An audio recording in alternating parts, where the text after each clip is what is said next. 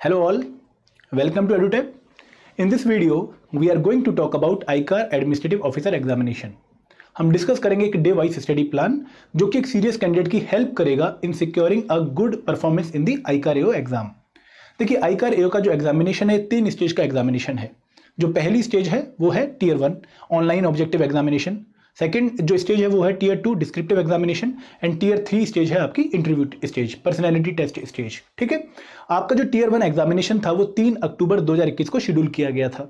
लेकिन एएसआरबी की latest notification में बोला गया है कि जो आपका एग्ज़ाम है तीन अक्टूबर का टीयर वन का, वो पोस्टपोन हो चुका है और अभी तक नई डेट अनाउंस नहीं करी गई हैं। और अगर हम रिसेंट एक्सपीरियंसेस की बात करें तो लगभग दो तीन मंथ आपके पास हैं जब आपका टीयर वन एग्जामिनेशन कंडक्ट करवाया जाएगा। तो हम एज्यूम कर सकते हैं कि two three months we are having before our tier one examination और हमें ये जो टाइम है दो तीन महीने का, ये हमें काफ़ी अच्छे तरीके से यूटिलाइज करना चाहिए और अपनी प्रिपरेशन को जब हम ऑलरेडी कर रहे थे, उसको और स्ट्रीमलाइन करना चाहिए और प्लान करना चाहिए और बेटर तरीके से हमें प्रिपेयर करना चाहिए। ठीक है? तो यहाँ पर इस पूरी वीडियो में मैं आपको बताऊँगा 75 डेज़ प्लान, जो आप लोग फॉलो कर सकते हैं अपनी परफॉर्मेंस को सुधारने के लिए और अपने जो सिलेक्शन के चांसेस हैं उनको इंक्रीज करने के लिए। ठीक है? मैं आप लोगों से रिक्वेस्ट करूँगा कि एंड तक वीडियो पक्का दिखिएगा, क्योंकि इस वीडियो में मैं आपको डे वाइज प्लान बताऊँगा पूरा कि डे वन से लेकर डे सेवेंटी फाइव तक आपको किस तरीके से चलना है, कौन से सब्जेक्ट्स आपको किस तरीके से प्रायोरिटाइज करने हैं और किस तरीके से आपको प्रिपेयर करना है। ठीक है? तो शुरुआत करते हैं वीडियो की। देखिए, आगे बढ़ने से पहले before I am going to tell you कि किस तरीके से आपको डे मैनेज करने हैं, मैं आपको बताऊँगा कि जब भी हम एग्ज़ाम की तैयारी करते हैं तो हमें कुछ इंपॉर्टेंट पॉइंट्स अपने दिमाग में रखने चाहिए। बहुत ही ज़रूरी है कि अगर हम ये पॉइंट्स क्लैरिटी के साथ अपने दिमाग में डाल लें। देखिए पॉइंट्स क्यों ज़रूरी हैं? क्योंकि ये जो हम आगे डेज़ हम अपने फॉलो करना चाहते हैं परस्यू करना चाहते हैं डिवाइस प्लान को, उनमें ये पॉइंट्स हमें बार बार ये क्लैरिटी देंगे कि we are on the right track ठीक है? और हमें हेल्प करेंगे हमारी पूरी प्रिपरेशन को अच्छा बनाने में स्ट्रीमलाइन करने में। तो जो पहला पॉइंट हमें ध्यान में रखना है, जो हमारे लिए बहुत इंपॉर्टेंट है, वो ये है कि हमारे पास एक प्लान होना चाहिए। ठीक है? सबसे पहले जब भी हम प्रिपरेशन की सोचते हैं, जब हम कोई फॉर्म फिल करते हैं तो हम क्या देखते हैं? हम देखते हैं कि पैटर्न क्या है सिलेबस क्या है पी वाई क्यूज कैसे थे? तो हमने ऑलरेडी वो चीज़ें देख ली हैं, और अब हमें प्लान बनाना है कि देखो सिलेबस हमारे पास है पी वाई क्यूज हमारे पास है, अब हमारे पास ये प्लान होना चाहिए। और जब भी हम प्लान की बात करते हैं तो हम कहते हैं कि हमारे पास सिर्फ़ लॉन्ग टर्म प्लान ही होना चाहिए, हमारे पास शॉर्ट टर्म प्लान भी होना चाहिए और हमारे पास मिड टर्म प्लान भी होना चाहिए, ठीक है? तो हमारे पास एक पर्टिकुलर डे का प्लान होना चाहिए कि आज इस पर्टिकुलर डे में हमें क्या करना है। अगर मैं डे वन की बात करूँ, मैं सुबह उठता हूँ तो बेड पे ही मेरे को एक बार प्लान करना है कि भाई आज पूरे दिन मेरा जो स्टडी प्लान है वो ये होने वाला है। ठीक है? और मैं पूरी कोशिश करूँगा कि मैं इस प्लान को अचीव कर लूँ। फिर उसके बाद आपके कुछ वीकली प्लान होने चाहिए। कुछ शॉर्ट टर्म के बाद mid term mid term plan होने चाहिए मीडियम टर्म प्लान होने चाहिए। एक वीक का प्लान आपके पास होना चाहिए। और उसके बाद आपके पास एक ओवरऑल प्लान होना चाहिए कि देखो पॉलिटी मैं इतने टाइम में कवर कर लूँगा। ठीक है? उसमें एक शॉर्ट टर्म प्लान आपने बना रखा है कि आज पॉलिटी का मैं ये पूरा ये पूरा चैप्टर कंप्लीट करूँगा। इस वीक में पॉलिटी का मेरा इतना पोर्शन खत्म हो जाना चाहिए। ठीक है? तो सबसे पहले plan your days and week ये सबसे इंपॉर्टेंट काम आपको करना है। और कहीं ना कहीं ये वीडियो आपकी हेल्प भी करेगी। जो बच्चे इस वीडियो को पूरा देखेंगे, वो इस चीज़ को अप्रिशिएट भी करेंगे कि इस पूरी वीडियो का जो मेन एम ये है कि आपको शॉर्ट टर्म प्लान बताए जाएँ, आपको लॉन्ग टर्म प्लान बताए जाएँ और साथ साथ आपको वी मीडियम टर्म प्लान भी बताए जाएँ। Then you have to prioritise the resources देखिए, एक बार अगर आपने प्रिपरेशन स्टार्ट कर दी तो उसके बाद आप रिसोर्सेज ढूँढने नहीं निकलेंगे। जब आपने सिलेबस देखा है, जब आपने पी वाई क्यूज देखे उसी टाइम पर आपको हर एक सब्जेक्ट का, हर एक कंपोनेंट का जो रिसोर्स है, वो फाइनल कर लेना है। फॉर एग्ज़ाम्पल अगर आपने जोग्राफी पढ़नी है तो एनसीआरटी e से पढ़नी है। वेल डन अगर आपने सोचा कि कोई और बुक पढ़नी है तो वो आपके पास पहले ही होनी चाहिए। जब आपका जोग्राफी का डे आएगा तो उस टाइम पर आप बुक लेने बाहर मार्केट में नहीं जाओगे। वो बुक आपकी ऑलरेडी टेबल पे होनी चाहिए।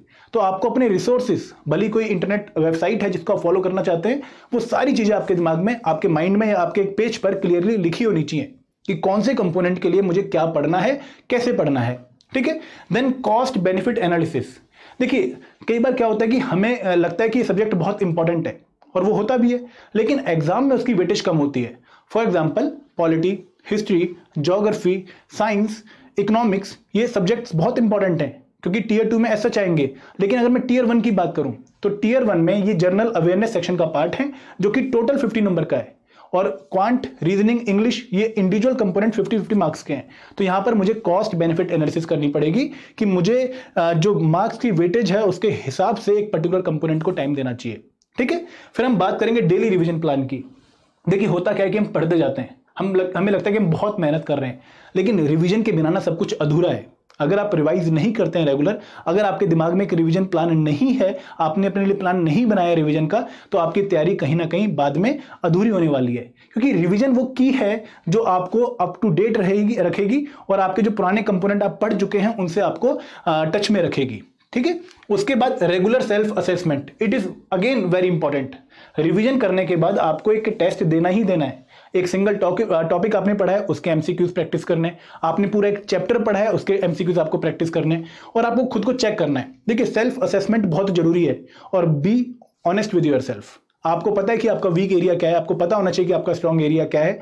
उनको मैनिपुलेट करने की कोशिश मत करिए। कोशिश करिए कि आपका जो वीक एरिया है, वो इंप्रूव करे और आपका स्ट्रॉन्ग एरिया जो है, वो आपका स्ट्रॉन्ग बना रहे। ठीक है? उसके बाद एग्ज़ाम स्पेसिफिक स्टडी आप एकदम जो अलाइनमेंट है, वो कर लीजिए अपने एग्ज़ाम के साथ अपनी प्रिपरेशन की। कोई मिसमैच नहीं होना चाहिए अलाइनमेंट का। ठीक है? तो ये छह पॉइंट्स आपको ध्यान में रखने हैं जब आप अपनी प्रिपरेशन को स्टार्ट करते हैं। आगे बढ़ते हैं। अब बात करते हैं डे वाइज स्टडी प्लान का। देखिए, आप लोगों ने अपना प्लान बना रखा होगा। उस प्लान में मेरे प्लान को फिट करने की कोशिश करिएगा और अगर आपके पास कोई प्लान नहीं है तो आप ये प्लान फॉलो कर सकते हैं और I assure Q I assure you कि ये प्लान काफ़ी हेल्प करेगा आप लोगों की।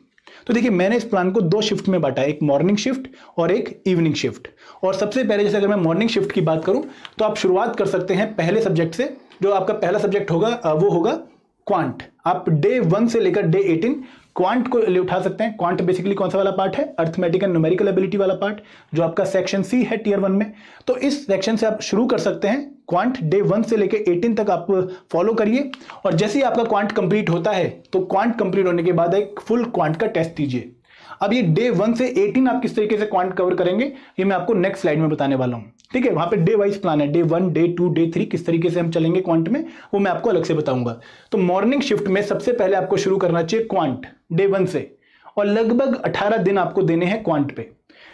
हर डे हर एवरी डे आप एक मॉक टेस्ट देंगे और जैसे ही आपका क्वांट कंप्लीट होता है, उसके बाद आप फुल क्वांट टेस्ट देंगे और देखेंगे कि आपकी परफॉर्मेंस कैसी रही है। ठीक है? उसके बाद आप शुरू कर सकते हैं सेकंड सब्जेक्ट जो आपका रीजनिंग होगा। अगेन जो सेक्शन बी है आपका टीयर वन का। ठीक है? और इसको भी आप लगभग 19 से 36 जो आपके टोटल 17 18 डेज़ हैं वो देंगे। और बहुत इंपॉर्टेंट है ये, क्योंकि रीजनिंग भी आपका 50 मार्क्स का है in tier one just like quant arithmetic and numerical ability यहाँ पर आपका general intelligence and reasoning ability ठीक है? तो इसको भी आप पूरा टाइम देने के बाद एक फुल रीजनिंग टेस्ट देंगे।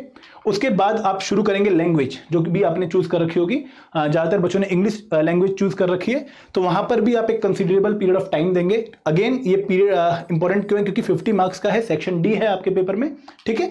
और यहाँ पर जैसे आपकी इंग्लिश कंप्लीट होती है तो आप एक पूरा इंग्लिश का टेस्ट देंगे, ठीक है? ये आपका मॉर्निंग शिफ्ट का प्लान है। अभी मैं अंदर नहीं गया हूँ। आगे वाली स्लाइड्स में मैं आपको डे वाइज प्लान भी बताऊँगा, ठीक है? उसके बाद आपको मॉक टेस्ट देने हैं। जो भी आपने कंपोनेंट्स कंप्लीट कर लिए हैं, एक बार अगर आपने सारी वीडियोस देख ली हैं, आपने पूरा अच्छे से प्रिपेयर कर लिया है तो फिर मॉक टेस्ट एक ऐसी, एक जड़ी बूटी बन जाएगी आगे जो आपकी प्रिपरेशन में और हेल्प करेगी, जो बताएगी कि आपके कौन से एरियाज़ वीक रह गए हैं, जिनको आपको फॉलो करना चाहिए, ठीक है? तो मॉक टेस्ट देने के साथ साथ आपको रिविजन करनी है। ये आपका मॉर्निंग शिफ्ट का प्लान है। ठीक है? ये मॉर्निंग शिफ्ट किसी बच्चे के लिए छह से दस हो सकती है, किसी बच्चे के लिए नौ से एक हो सकती है तो अपने हिसाब से प्लान करिएगा। जनरली मैं आप लोगों से मांग रहा हूँ कि आप एक शिफ्ट में मिनिमम तीन घंटे तो दें ही दें। अब ये तीन घंटे क्यों दें? क्योंकि जो आपका एक्चुअल एग्जामिनेशन है वो तीन घंटे का है। 200 क्वेश्चन आपसे पूछे जाएँगे तो आपको तीन घंटे की सिटिंग हैबिट डालनी पड़ेगी। ठीक है? अब बात करते हैं इवनिंग शिफ्ट की। अगेन मिनिमम टाइम जो मैं आपसे डिमांड कर रहा हूँ वो तीन घंटे आपको देने चाहिए। ठीक है? इवनिंग शिफ्ट में हम शुरू करेंगे पॉलिटी से। डे वन हमारा होगा पॉलिटी से शुरू और डे एटीन तक हम पॉलिटी कंप्लीट करेंगे। ठीक है? पॉलिटी हम इस तरीके से कंप्लीट करेंगे कि टीयर वन की रिक्वायरमेंट भी मीट हो जाए और टीयर टू की रिक्वायरमेंट भी मीट हो जाए। मतलब क्या? कि हम काफ़ी अच्छे तरीके से पॉलिटी पढ़ेंगे। ठीक है? जैसे ही हमारी पॉलिटी कंप्लीट होगी, हम एक फुल पॉलिटी टेस्ट देंगे। यहाँ पर हम हर दिन भी एक मॉक टेस्ट देंगे। मैं आपको डिवाइस प्लान में बताऊँगा। और जैसे ही हमारी पॉलिटी कंप्लीट होगी, हम फुल पॉलिटी टेस्ट देंगे। और उसके बाद हम जोग्राफी शुरू करेंगे। डे 19 से लेके डे 36 तक। फिर फुल जोग्राफी टेस्ट देंगे। फिर हम शुरू करेंगे हिस्ट्री डे 37 से लेके डे 56 हम फुल हिस्ट्री टेस्ट देंगे। तो ये मैं आपको अभी मीडियम टर्म प्लान बता रहा हूँ। एक ये लॉन्ग टर्म प्लान चल रहा है और उसके अंदर medium term plan subject wise quant का मीडियम टर्म प्लान रीजनिंग का लैंग्वेज का, ठीक है हिस्ट्री का। देखिए, इसके बाद हम साइंस शुरू करेंगे। ठीक है? और यहाँ पर इन तीन कंपोनेंट पे आपको ध्यान रखना है कि हमें डेली आंसर राइटिंग प्रैक्टिस करनी है। ये मैं क्यों कह रहा हूँ आपसे? क्योंकि ये तीनों ही कंपोनेंट आपके टीयर टू का पार्ट भी हैं, ठीक है? और आप जो भी पढ़े फॉर एग्ज़ाम्पल आपने अगर पॉलिटी में पावर ऑफ़ प्रेसिडेंट पढ़ी है तो उसको पढ़ने के बाद आपने पूरा टॉपिक कंप्लीट कर लिया है। उसको पढ़ने के बाद एक बार आँख बंद करके सोचें कि मैंने क्या पढ़ा है। और अपने शब्दों में मिनिमम 100 या 200 वर्ड्स में, जो भी आपने पढ़ा है, उसको लिखने की कोशिश करिए। ठीक है, ये आंसर राइटिंग की आर्ट एक दिन में नहीं आती है। सबसे पहले आपको लिखने की हैबिट होनी चाहिए। तो जो भी आपने पढ़ा है, जो भी आपने पूरे दिन एक इवनिंग शिफ्ट में आपने लगा के पूरा मेहनत करके पढ़ा है, उसको एक बार अपने शब्दों में पक्का लिखिए। मिनिमम हंड्रेड वर्ड्स या टू वर्ड्स वो टॉपिक आपका, उसमें कंप्लीट हो जाना चाहिए। ठीक है? देन इन सब्जेक्ट्स में जो आपके टीयर वन स्पेसिफिक हैं फॉर एग्जांपल साइंस इकोनॉमिक्स इनको भी आपने प्रॉपर डेज़ देने हैं फिफ्टी सेवन से sixty four science full science test देना है after the completion of subject then economics full economic test देना है after the completion of the subject तो यहाँ पर मैं आपको क्या बता रहा हूँ कि आपको कुछ पर्टिकुलर डेज़ देने हैं हर एक कंपोनेंट पे।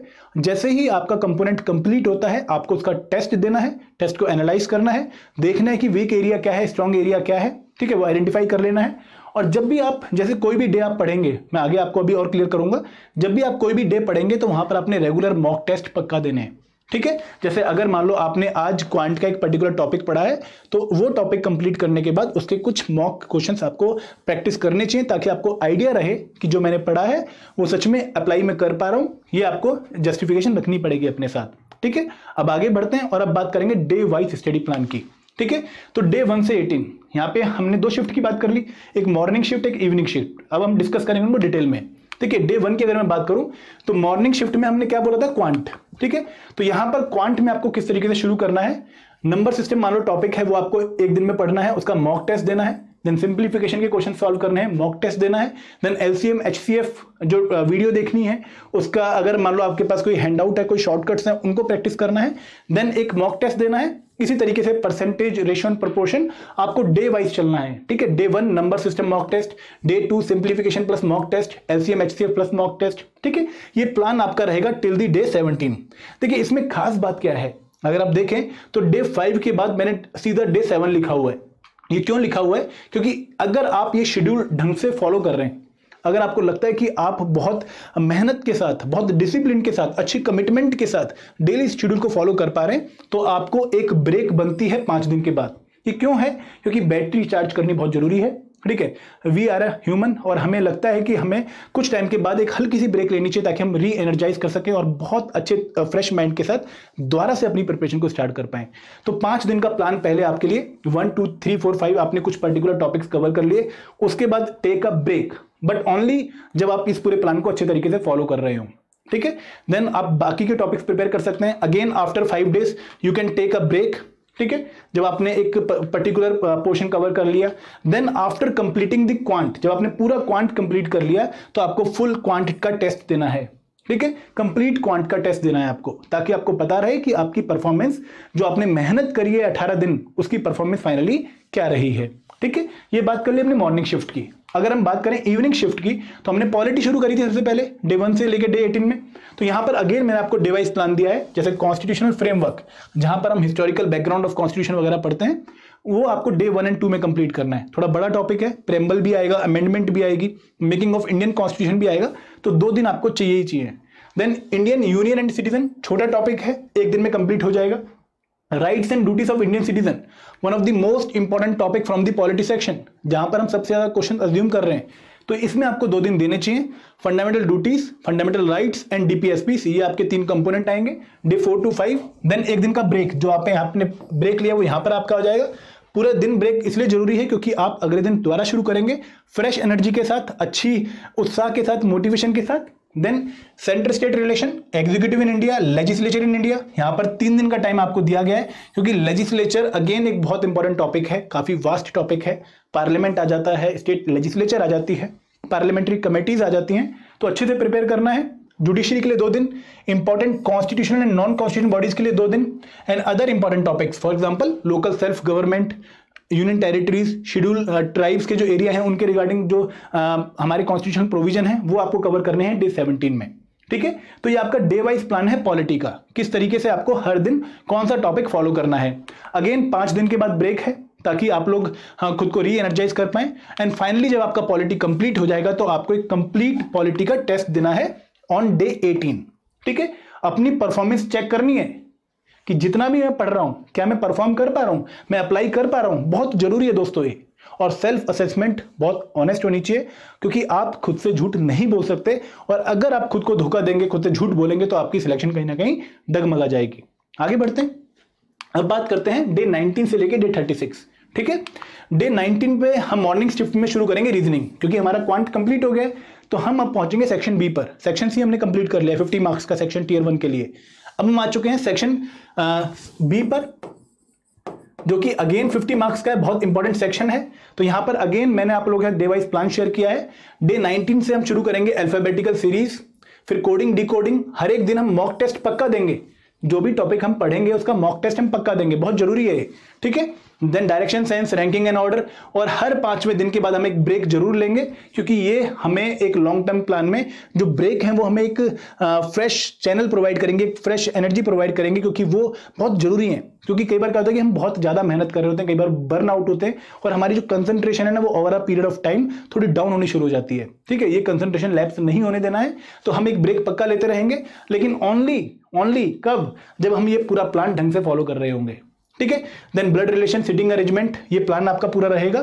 फिर पाँच दिन का break calendar counting figure mathematical operation decision making जो कि बहुत इंपॉर्टेंट पार्ट है सेक्शन बी में एंड नॉन वर्बल जो आपके सेक्शन uh, है वो आप कंप्लीट करेंगे along with the mock test तो डेली एक मॉक टेस्ट पक्का देना है।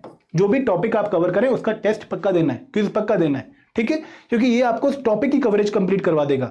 ठीक है? And finally completing the reasoning day 36 पे आप क्या देंगे? फुल रीजनिंग का टेस्ट ठीक है, आपने रीजनिंग कंप्लीट कर ली, आपने लगभग 18 दिन लगा दिए तो अब चेक करना तो बनता है ना कि मैंने क्या पढ़ा है एक्चुअल में।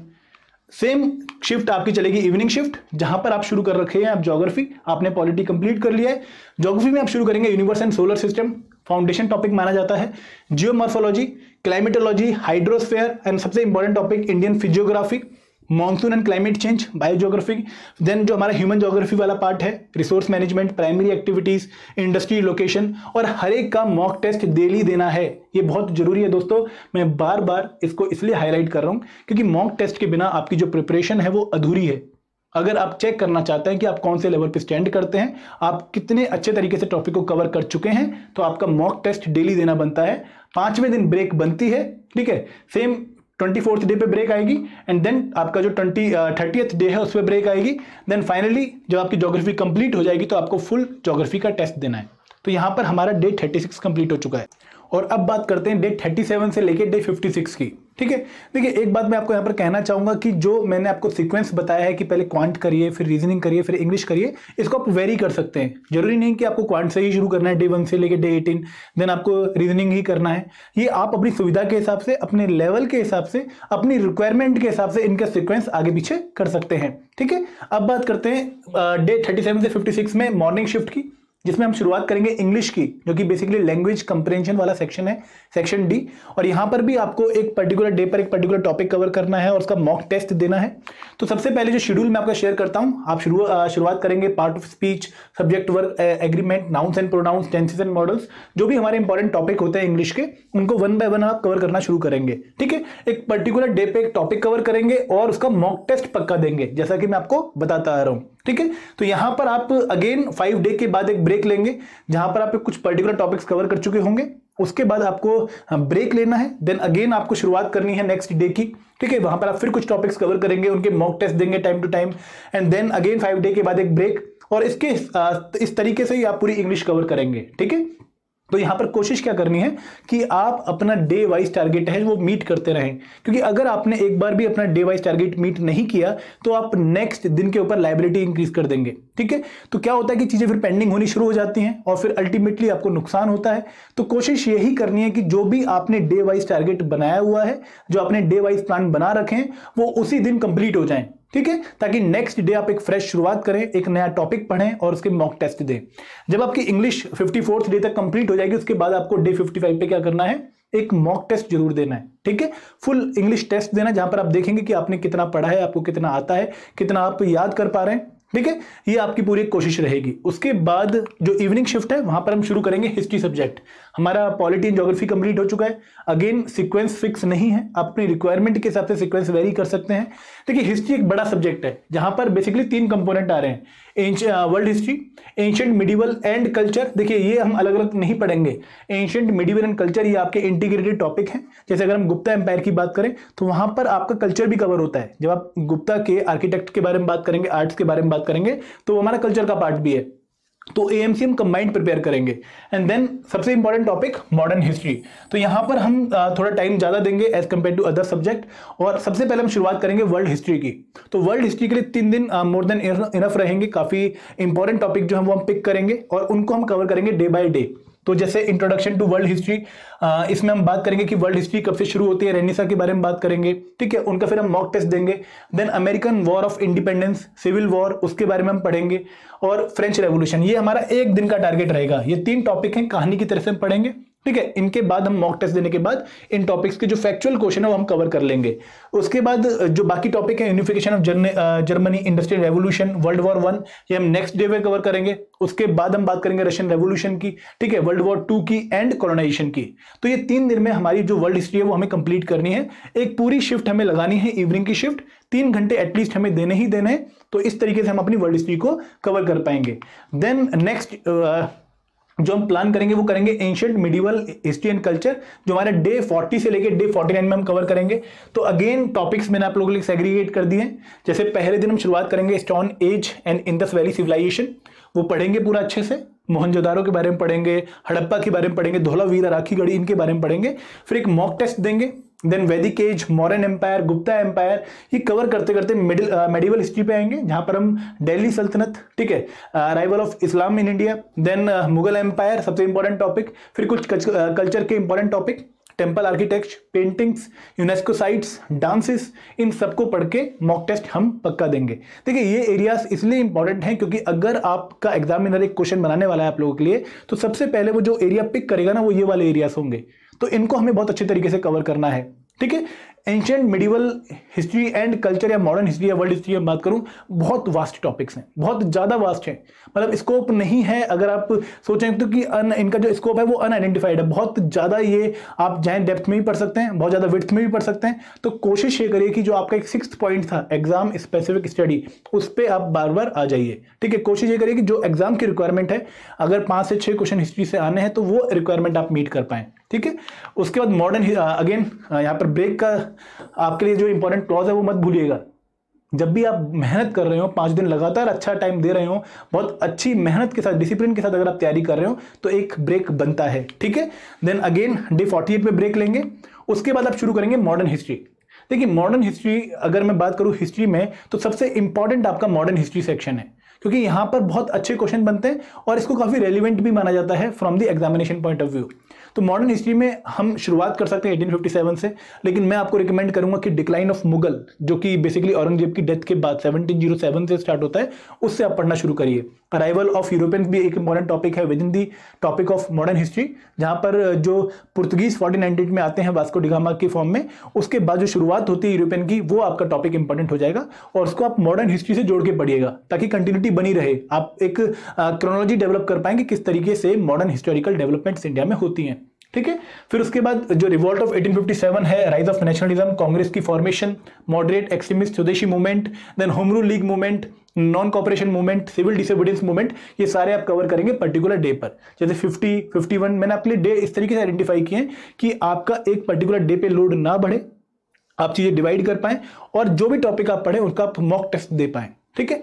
और देखिए हिस्ट्री जोग्राफी एंड पॉलिटी जो भी टॉपिक आप पढ़ें फॉर एग्ज़ाम्पल अगर आपने रिवोल्ट ऑफ़ 1857 पढ़ा है तो इसके बाद अपने शब्दों में इसको लिखना ही लिखना है। भले ही आप आंसर फॉर्म में नहीं लिख रहे, आप एक स्टैंडर्ड आंसर फॉर्म में नहीं लिख रहे कि इंट्रोडक्शन होगा बॉडी होगा कंक्लूजन होगा, आप सिर्फ़ अपनी समरी लिखिए कि आपने क्या पढ़ा है। कि रिवोल्ट ऑफ़ 1857 की शुरुआत कैसे होती है? कौन कौन से इंपॉर्टेंट सेंटर थे? कौन कौन से इंपॉर्टेंट लीडर्स थे? क्या कंसिक्वेंस हुए? किस तरीके से अंग्रेज़ों ने रिवोल्ट ऑफ़ 1857 को ओवरपावर किया? क्यों ये रिवोल्ट सक्सेसफुल नहीं हो पाई? ये सारे एस्पेक्ट आप लिखेंगे अपने शब्दों में, क्योंकि हमने नोट्स में इसी तरीके से कवर करवाया है। ठीक है? तो आपकी हिस्ट्री जब कंप्लीट हो जाएगी तो आप थोड़ी तसल्ली ले सकते हैं, क्योंकि आपने section A B section B C D अच्छे से कवर कर लिया डे 56 तक। और उसके बाद आप जो मेन तीन कंपोनेंट है, जो आपके टीयर टू में भी यूज़ होने वाले हैं पॉलिटी जोग्राफी एंड हिस्ट्री वो आप कवर कर चुके हैं। इसके बाद आप जो मॉर्निंग शिफ्ट है, वो आप शुरू करेंगे from mock test and revision ये आपका आगे का टारगेट बन जाएगा डे 57 से 73 तक। देखिए मॉर्निंग शिफ्ट में आप एक दिन रखेंगे रिवीजन के लिए। जैसे रिवीजन डे वन क्वांट को आपने रिवाइज किया देन आप फुल मॉक टेस्ट देंगे और उसकी एनालिसिस करेंगे। देखिए, बहुत इंपॉर्टेंट है एनालिसिस करनी। क्योंकि एनालिसिस करने के बाद ही आपको पता लगेगा कि आपकी परफॉर्मेंस में कमी कहाँ है, आपके कौन सा एरिया वीक है। ठीक है? एनालिसिस करना बहुत ज़रूरी है। तो आपने एक मॉक टेस्ट दिया, उसको इवेल्युएट करने के लिए तो यूज़ करना ही करना है। जो हर बच्चा करता भी है, लेकिन जो अच्छा बच्चा होता है, जो बच्चा सिलेक्ट होने वाला होता है, वो हमेशा एक मॉक टेस्ट को सोर्स ऑफ़ प्रिपरेशन मानता है। उसके हिसाब से जो मॉक टेस्ट है, वो उसकी अपॉर्चुनिटी प्रोवाइड कर रहा है कि जो चीज़ उसने किसी भी बुक में कवर नहीं करी है, जो उसने किसी भी नोट्स में कवर नहीं करी है, उनको वो मॉक टेस्ट की मदद से कवर कर ले। तो मॉक टेस्ट में कोई भी कमी आपको लगती है कि मेरे अंदर रह गई है, या मैं कोई टॉपिक कवर नहीं कर पाया हूँ, मुझसे कुछ मिस हो गया है तो वो मैंने मॉक टेस्ट में कवर करना ही करना है। ठीक है? तो mock test are also a source of preparation इनकी एनालिसिस करनी है, अपने हर एक कंपोनेंट की परफॉर्मेंस को आइडेंटिफाई करना है, और फिर उस पर वर्कआउट करना है। ठीक है? तो रिवीजन करनी है आपने day one quant day two reasoning उसके बीच में एक मॉक टेस्ट देना है। हर अल्टरनेट डे पर आपका एक मॉक टेस्ट बनेगा। ठीक है? देखिए, यहाँ पर मॉक टेस्ट आपने दिया, मान लो full day mock test one आपने देखा कि मेरा पॉलिटी वीक आ रहा है। वो टॉपिक नोट कर लेना जिनके क्वेश्चन आप सॉल्व नहीं कर पाए और जब पॉलिटी का रिवीजन डे आएगा, सबसे पहले वही टॉपिक पिक करने हैं जो आपने पिछले मॉक टेस्ट में आइडेंटिफाई कर लिए हर एक मॉक टेस्ट में वीक एरिया आइडेंटिफाई करना है, उनके टॉपिक्स नोट डाउन कर लेने हैं और जब उस सब्जेक्ट का रिविजन डे आएगा, वो आपने उस दिन कवर कर लेना है। ठीक है? ये आपका मॉर्निंग शिफ्ट का टाइम है। और इवनिंग शिफ्ट ब्रेक बनेगी अगेन यहाँ पर भी। उसका जो इवनिंग शिफ्ट का टाइम है, यहाँ पर आप शुरू करेंगे साइंस इंपॉर्टेंट है। काफ़ी इंपॉर्टेंट है क्योंकि अगर हम पेपर देखें 2014 वाला तो वहाँ पर साइंस के क्वेश्चन आए हैं। तो यहाँ पर आप आ, कम से कम तीन चार दिन लगाएँगे साइंस पे चार दिन मैंने आपके लिए बोले हैं। यहाँ पर आप एटलीस्ट तीन घंटे डेली देंगे साइंस पे जहाँ पर आप वीडियो देख सकते हैं या फिर हैंडआउट्स पढ़ सकते हैं एनसीआरटीज पढ़ सकते हैं जो अपने रिसोर्स इनिशियली आइडेंटिफाई कर लिए उन्हीं पे अपने फोकस करना है।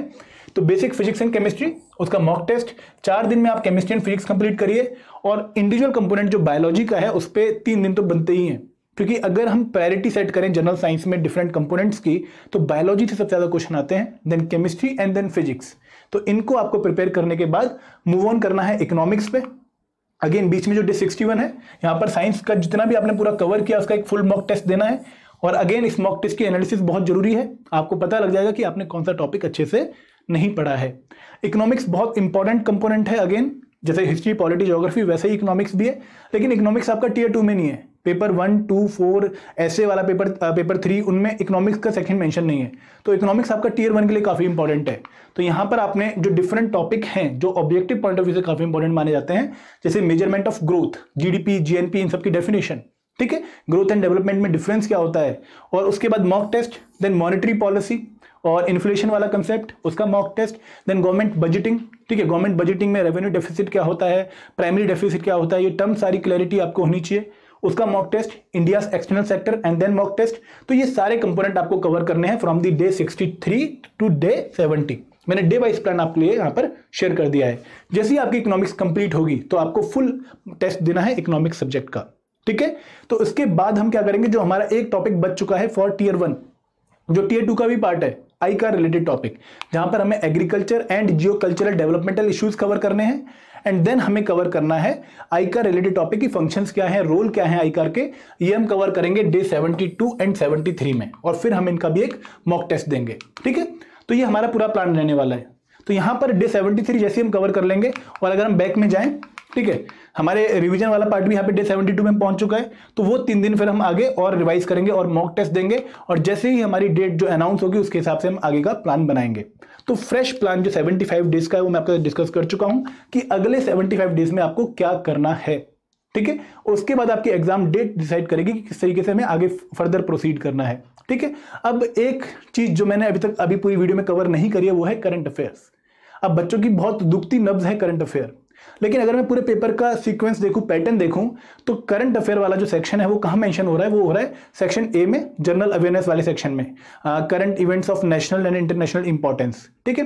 तो आपको उसी की वेटेज के हिसाब से करंट अफेयर पर टाइम देना है। और अगर मैं आप लोगों को सजेस्ट करना चाहूँ तो मैं सजेस्ट करूँगा कि आपको डेली न्यूज़पेपर कर, रीडिंग करनी ही करनी है for at least 45 minutes at least thirty to forty five minutes एक बार जो न्यूज़पेपर है, उसको ब्रशअप कर लीजिए। कोई इंपॉर्टेंट अपॉइंटमेंट हुई है, या पीएम ने कोई टर्म यूज़ करी है फाइनेंस मिनिस्टर ने कोई टर्म यूज़ करी है गवर्नर साहब ने कुछ बोला है रेपो रेट में ऊपर नीचे कुछ हुआ है, ये आपने न्यूज़पेपर से नोट डाउन करना है। और उसके बाद जो आपके बाकी करंट अफेयर बच चुके हैं, पुराने मंथ्स के, अगस्त के, या फिर जुलाई के जो आपको इंपॉर्टेंट लगते हैं और आपने आगे की भी करंट अफेयर रिवाइज करने हैं तो आपको कोई भी मंथली मैगजीन उस पर एटलीस्ट डेली थर्टी से फोर्टी मिनट आपको देने ही पड़ेंगे। जैसे आप एक एक रूटीन बना लीजिए कि मुझे डेली दस से पंद्रह पेज एक बार रीड आउट करने हैं करंट अफेयर के, ठीक है? एक मैगजीन आप कवर कर सकते हैं, कोई भी मैगजीन पिक करके उसको कवर करना शुरू कर सकते हैं। तो एटलीस्ट डेली एक ओवर आपको देना है ऑन करंट अफेयर जहाँ पर आपकी newspaper reading and current affair magazine reading part बनेगी। ठीक है? और सेवेंटी फाइव डेज़ में आप काफ़ी इंपॉर्टेंट करंट अफेयर्स कवर कर लेंगे। ठीक है? तो ये था पूरा डे वाइज स्टडी प्लान जो मैंने आप लोगों को शेयर किया। आई होप कि आपको काफ़ी अच्छा लगा होगा। आप लोग अप्रिशिएट करेंगे फॉलो करने की कोशिश करेंगे, क्योंकि मेरी अप्रिशिएशन तभी होगी जब आप इसको यूज़ करना शुरू करेंगे। ठीक है? एक और बात जो मैं आपको कहना चाहूँ कि अगर आप लोगों ने आई का कोर्स परचेज करना है या फिर आपने उसको यूज़ करना है तो मैं आपको बता दूँ कि हमारा एक ten day free starter pack हम लोगों ने आपके लिए बनाया है। हमारे आई कोर्स का एओ कोर्स का जिसको आप डिस्क्रिप्शन बॉक्स में लिंक पर जाकर देख सकते हैं दिए गए लिंक पर जाकर देख सकते हैं। और उस कोर्स पे आपको पता लग जाएगा कि हमने किस तरीके से आईकार एओ के कोर्स के आ, कोर्स को डिज़ाइन किया है डिफरेंट कंपोनेंट्स को कवर किया है। वो आपको एक आइडिया दे देगा कि आपको कोर्स लेना है या नहीं लेना है ठीक है? और अगर कोई बच्चा कोर्स के थ्रू परचेज प्रिपेयर करना चाहता है तो भी वो वो स्टार्टर पैक यूज़ कर सकता है। उसे देख सकता है कि कोर्स हमने किस तरीके से फाइनल डिज़ाइन किया है और उसके बाद कोर्स का लिंक भी नीचे दिया गया है और आप कोर्स को भी परचेज कर सकते हैं। This is all from my side friends hope you enjoy the lecture thank you very much जय हिंद जय भारत